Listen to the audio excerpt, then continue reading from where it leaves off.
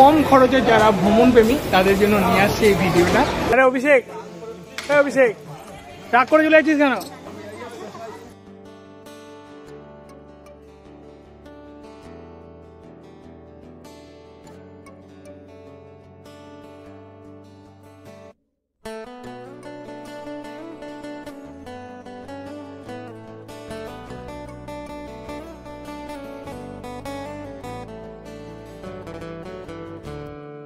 আসুন, ঘুরুন, আর সাথে একটা লাঠি নিয়ে আসবেন, ঠিক আছে? বাঁদর তাড়াতে কিন্তু কাজে লাগবে।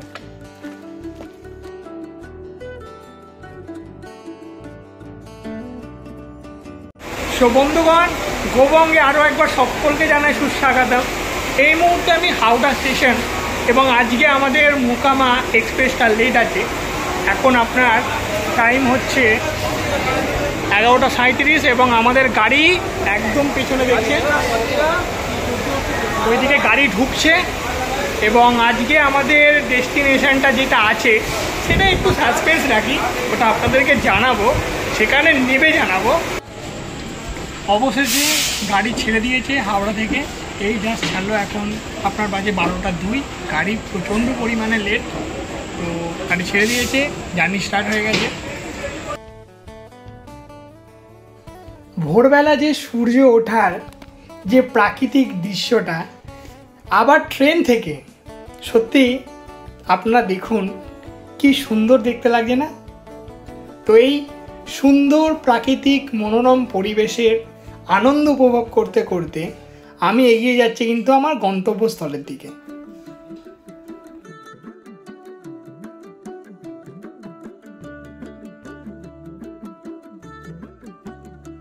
সো অবশেষে জেসিডি রেলওয়ে স্টেশনে আছি এবং এখান থেকে বেরোচ্ছি।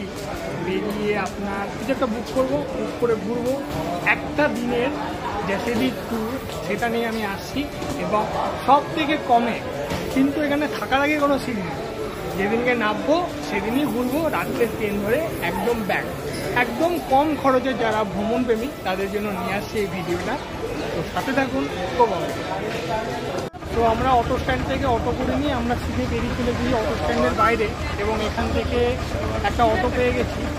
আজকে আমাদের সারাদিন ঘোরাবে আর মাত্র হাজার টাকা আমাদের আছে আপনারা যদি পারেন ওখান থেকেও বুক করতে পারেন, অথবা স্টেশনের বাইরে এসে বুক করতেও পারেন। আমার মনে হয় স্টেশনের বাইরে এসে বুক করলে আপনার সব থেকে সুবিধা হবে আর প্লাস আপনি দামাদামিও বলতে পারেন আমাদের হাজার টাকা লাগবে। চলুন যাওয়া যায় তো আমাদের অটো স্টার্ট হয়ে গেছে এবং ছেড়ে দিয়েছে কি আছে, না আছে, একদিনে যতটা কভার করা যায় করব এবং আপনাদেরকে আপডেট করব যে আপনার আমরা কী ঘুরছি এবং দেখছি এবং সব কিছু ঘুরে শেষে যাব বাবাটা, সেখান থেকে বাবাটা দর্শন আজ আপনাদেরকে নিয়ে যাচ্ছি কলকাতা থেকে মাত্র তিনশো এগারো কিলোমিটার দূর, পাহাড় ও জঙ্গলে ঘেরা এক সুন্দর পরিবেশে। এটি আমাদের ঝাড়খণ্ড। ঝাড়খণ্ডের দেহঘর এখানে এসে আমাদের প্রথম গন্তব্যস্থল ছিল ত্রিকুট পর্বত। আচ্ছা এই পাহাড়টিকে কেন ত্রিকুট পর্বত বলা হয় জানেন? কারণ এই পর্বতের তিনটি চূড়া আছে, যেটি ব্রহ্মা, বিষ্ণু ও মহেশ্বর তিনটি নামে বিখ্যাত। এবং এই পাহাড়ের মধ্যে রয়েছে এক পুরনো শিব মন্দির, যেটাকে বলা হয় ত্রিকুটাচল। মহাদেব মন্দির। তো চলুন, আজকে আমরা সেগুলো দর্শন করব এবং সুন্দর সুন্দর এই পরিবেশের আনন্দ উপভোগ করতে করতে আমরা কিন্তু এগিয়ে যাচ্ছি ত্রিকুট পর্বতের দিকে।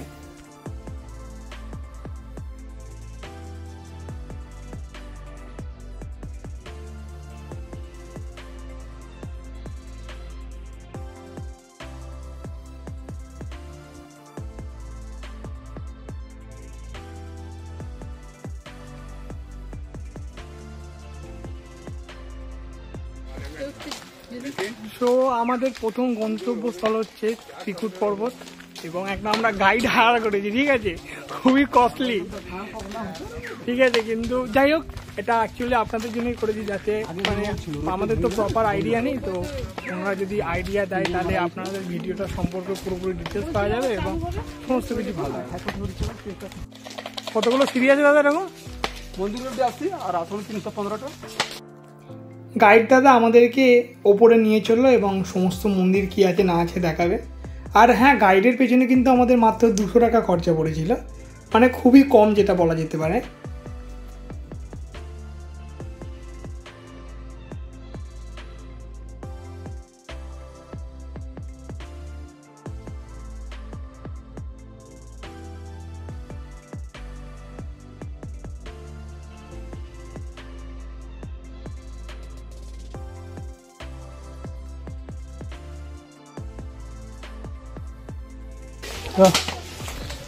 এটা শিবগঙ্গা আছে আর স্নান করা যায়। স্নান করে এখানে মন্দিরে পুজো দেয় তো। মন্দিরে সুইমিং পুল গরম লাগলে এখানে চান হয় বিশাল।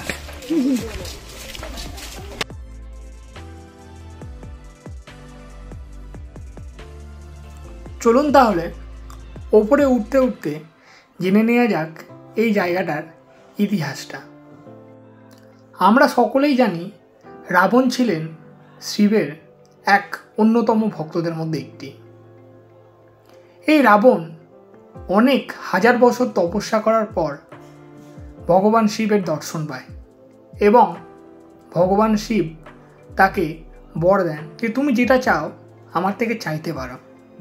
তখন রাবণ বলেন যে, বাবা, আপনি আমার সাথে আমাদের দেশে চলুন। আমি সেখানে আপনাকে পুজো করব। এই কথা শুনে সমস্ত দেবতারা কিন্তু বাকরুদ্ধ হয়ে গেছিল। কিন্তু মহাদেব ছিলেন খুবই শান্ত। মহাদেব তার সাথে যেতে রাজি হয়ে যান, কিন্তু তিনি একটা শর্ত দেন।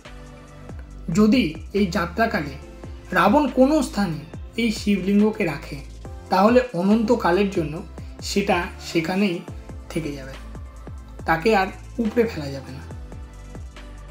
যাত্রাকালীন তার লঘু সংখ্যা পাওয়ার জন্য তিনি এই পাহাড়েই অবতরণ করেন এবং কাউকে খুঁজতে থাকেন।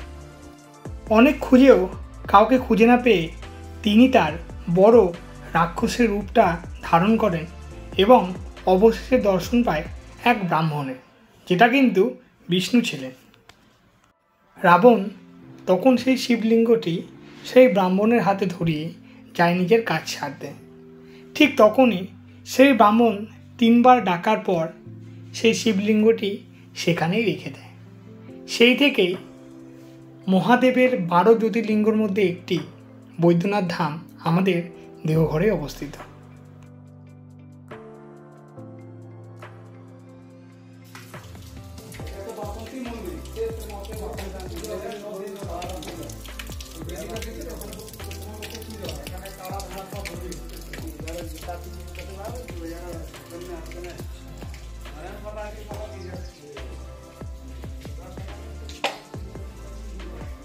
এখানে আপনার কোন টাইমে পুজো হয়? বাসন্তী পুজোর টাইম চৈত্র মাসে হয় চৈত্র মাসে হ্যাঁ? বাসন্তী।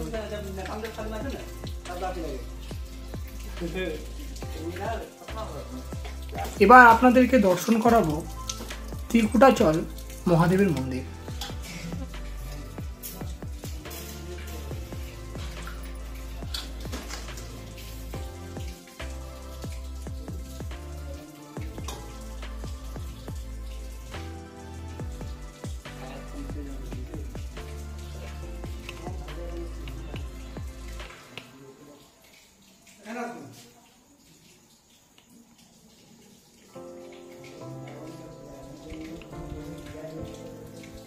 आज चार चार नहीं है क्या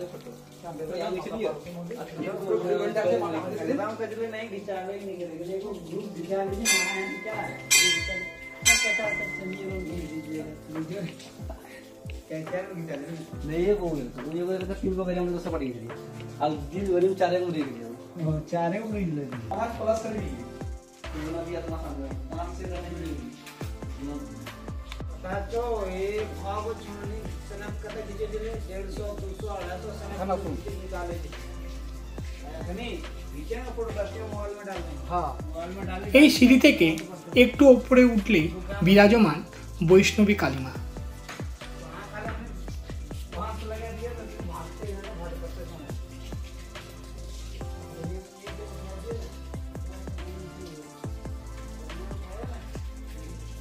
মা বৈষ্ণবী কালীমা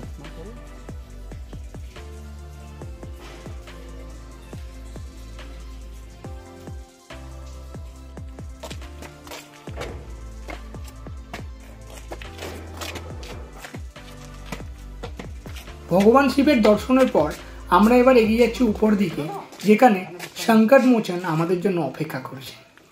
দেখতেই পাচ্ছেন লেখা আছে সংকট মোচন গুহা এবং এখানে সংকট মোচন মানে হনুমানজি বিরাজমান।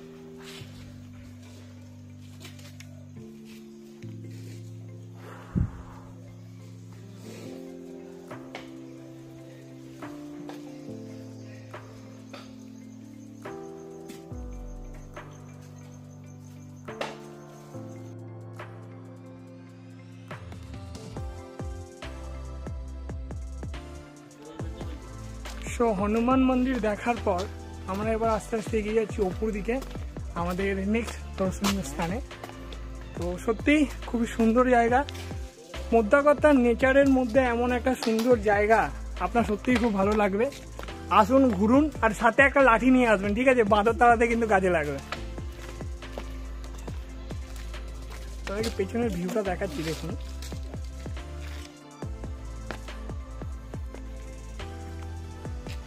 এটা নৌকো পাথর ঠিক আছে চলুন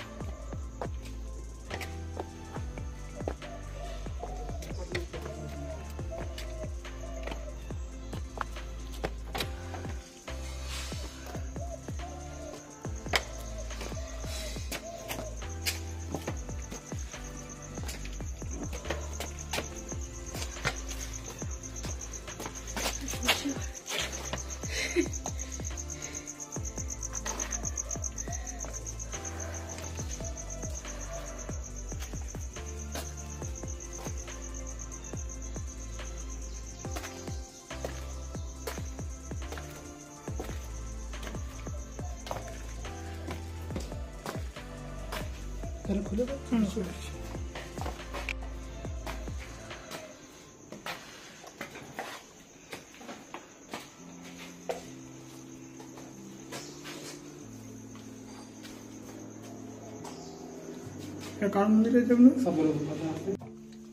সো এখানে দয়ানন্দ স্বামীর আশ্রম দেখার পর একদম এন্ডে আমরা চলে এসেছি।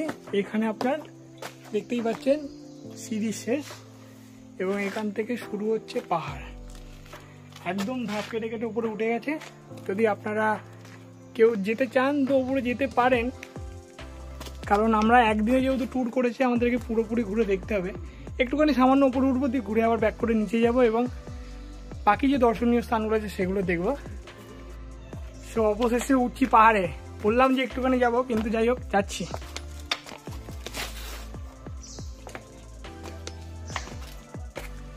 তাপ কাটা রাস্তা।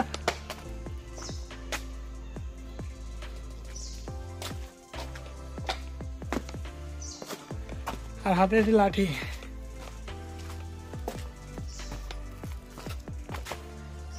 কি আমি আপনাকে আমার এই সুন্দর বদনটা দেখাচ্ছি? যেটা দেখালে কাজ হবে, সেটা দেখাচ্ছি। ওয়েট করুন।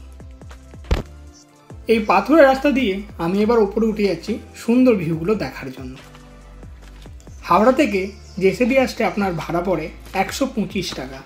আর যদি আপনারা স্লিপার্সে আসেন, তাহলে আপনার এটা পড়ে যাবে দুশো কুড়ি টাকা।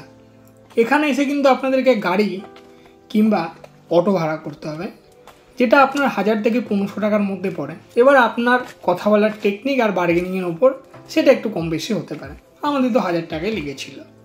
দিয়ে সিধে উঠে পড়ুন গাড়িতে এবং এক্সপ্লোর করতে বেরিয়ে যান নেচারকে। আমাদের যেহেতু একদিনের ট্যুর ছিল, যে কারণে আমাদের রুম তো লাগেনি, কিন্তু আপনারা এখানে রুমও পেয়ে যাবেন, যেটা সাতশো টাকা থেকে স্টার্টিং হয়ে যাবে।